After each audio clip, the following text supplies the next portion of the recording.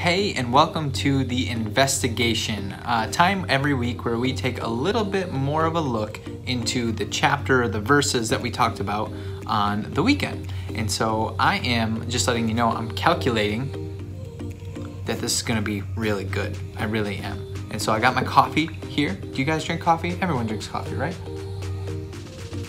Oh, it's pretty good actually. So we're going to look at Psalm chapter 16.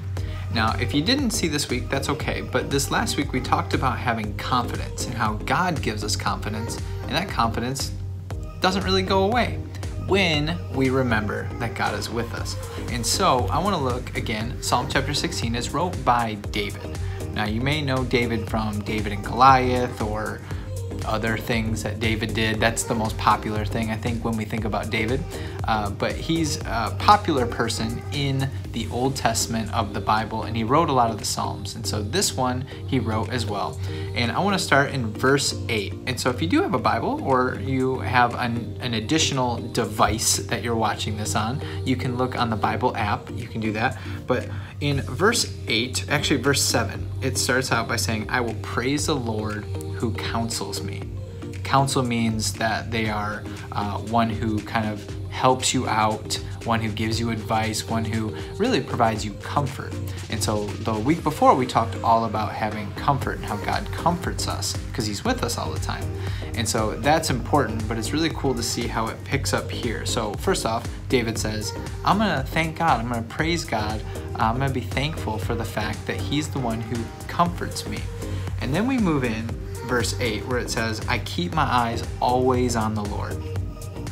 Now, uh, as you just saw, even my eyes go all over the place. My eyes, I am willing to say, or I'm able to say, or yeah, I'm willing to say, my eyes are not always on the Lord.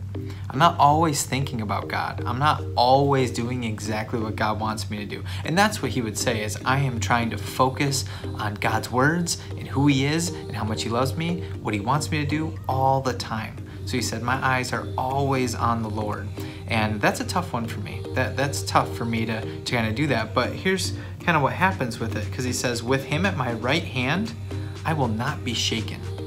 Meaning we're going to talk about this. God is really, He goes before us, He is with us, and He is living inside of us. All those things are true. And so He says, with God at my right hand, with God with me, like I will not be shaken. And so when we think about uh, being shaken, uh, that, that just means he's kind of thrown off. So when things don't go our way or when things are out of our control, we can trust when we know God's with us, when we believe the things that are true about him and what he says about us, we, we don't have to be too thrown off.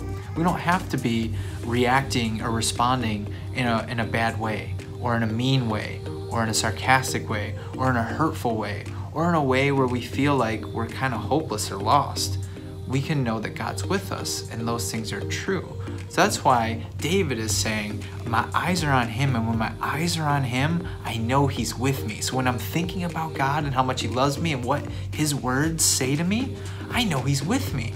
I know he's gone before me. I know he's alive inside of me.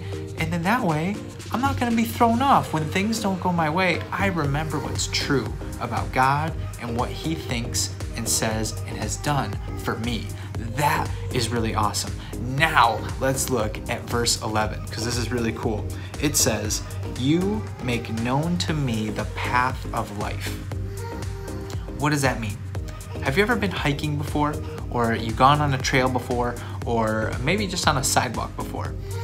Chances are you didn't put that trail in chances are someone else made a trail for you or built a sidewalk for you so you know where to go and you can walk pretty safely.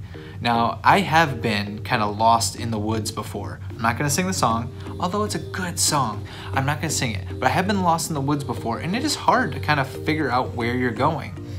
But God would say, I, I've already gone before you and I've prepared this path. I have these plans for you. And so, our role when we keep our eyes on God is to just stay on the path that He set before us, which would mean we listen and obey. We listen to what He says and we obey Him because we know when we're close with God, when we listen to Him and obey what He says, we stay close to Him and we can understand that He's already got a path for us. So when we keep our eyes on Him, We can go His direction we cannot be shaken. That gives us confidence because we know who God is at all times. Now, sometimes we fall off the path. Sometimes we don't do things that we want to do, or we don't do things that God would say that we ought to do. The cool thing is, is God keeps making new paths for us to follow. No matter who we are, no matter where we are, God will always make a new path for us. And when we keep our eyes or we put our eyes back to Him, He's got a path ready for us.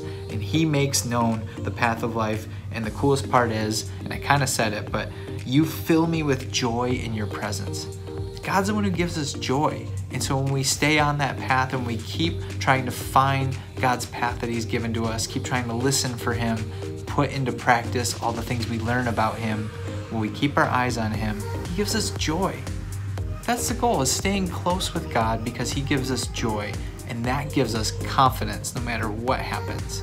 And so praying for you. Hope you have a great rest of your day, and I hope this was helpful as you learn a little bit more about Psalm 16.